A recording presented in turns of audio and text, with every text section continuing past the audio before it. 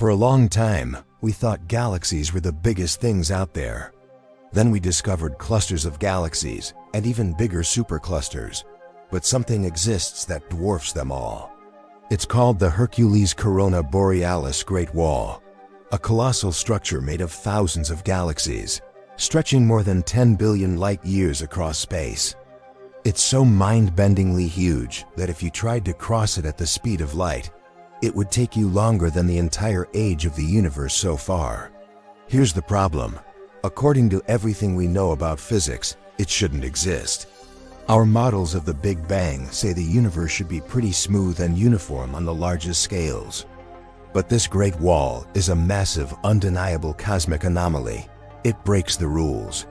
It forces us to question how matter clumped together after the Big Bang and how the universe really built itself.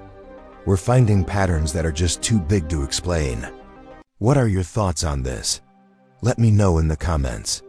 And thanks for watching.